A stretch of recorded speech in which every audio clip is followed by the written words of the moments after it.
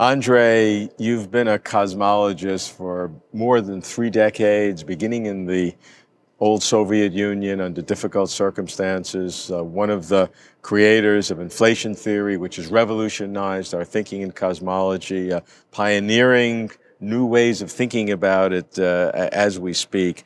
Uh, when you take a step back and look at the last 30 years of, of cosmology and human understanding, uh, what, what, is it, what do you feel like? What does it make you, what, you, what, what, are, what are the things that are most important? Well, uh, huh.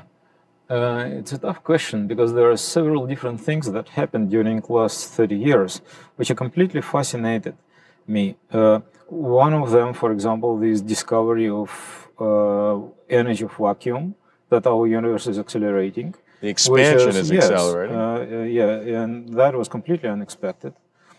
Another thing is that experimentally, I really never really believed that they will come close to experimental verification of inflation uh, from the point of view of these perturbations generated during inflation.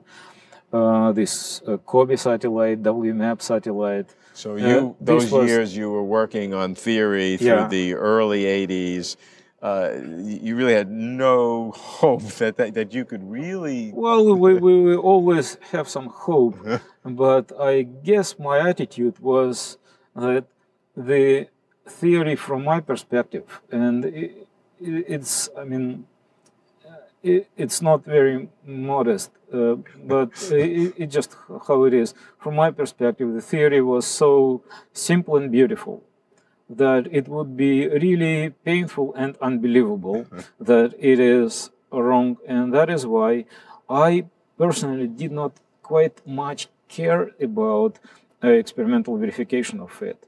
On the other hand, with years, I guess I became maybe a little bit uh, wiser, I don't know, and I start caring.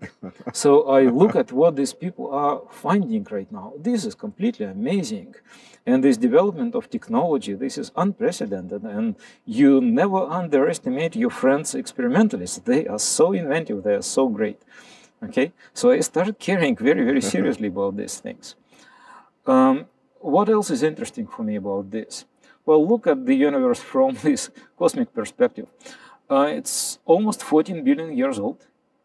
Uh, I mean, if I'm believing uh, uh eternal inflation, which I do, then this just means that 14 billion years or 13.7 mm. billion years after the end of inflation in my local part of the universe. Okay, so these 14 billion years we were waiting to watch the universe at this magic scale encompassing all of what we can see right now with all of our best telescopes.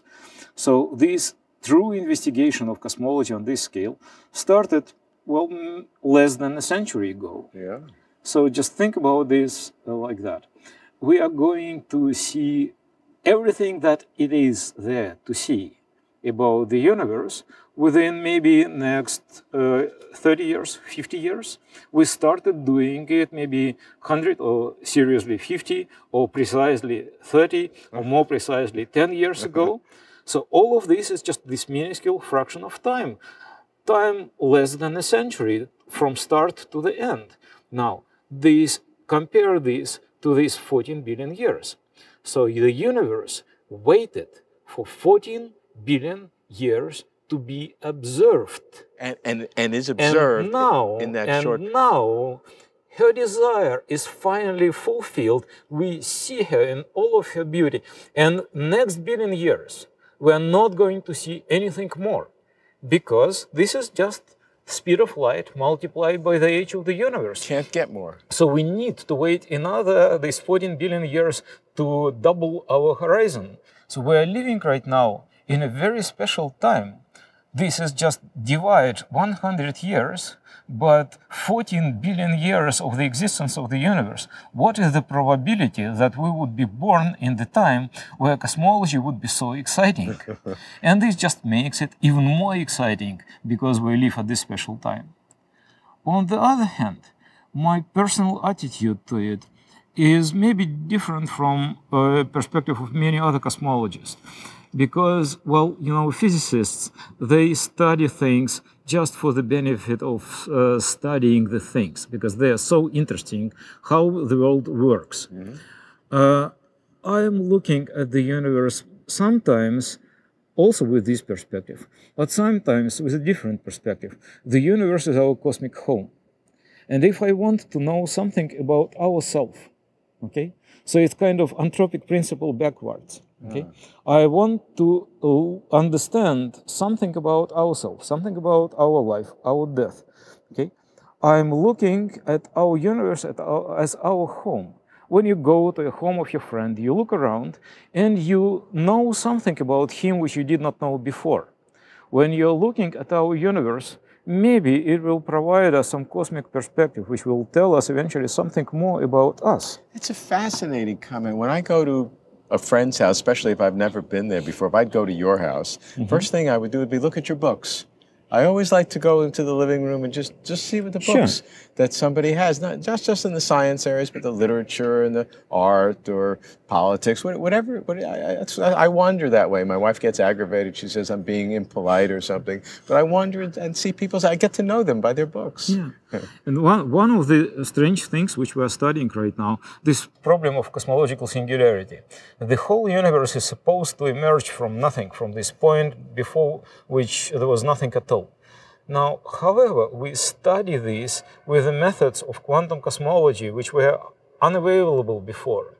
We use our knowledge of inflationary cosmology, which was unavailable before.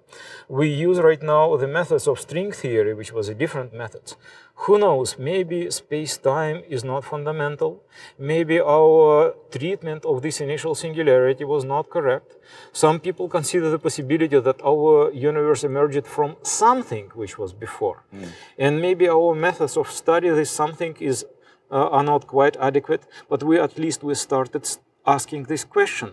The question which was previously was impossible to ask, not looking stupid. Okay, so then look at us. We are emerging from what? From nothing. We are born and then we are dying. What was with us before? What is going to happen with us later? Maybe study of cosmology will not tell us anything new about it. Maybe, however, you know, parallels sometimes can teach us something. Maybe by learning something about death and the birth of the universe, maybe we can learn something about myself and ourselves. And this I consider one of the most interesting, well, speculative consequences of study of cosmology.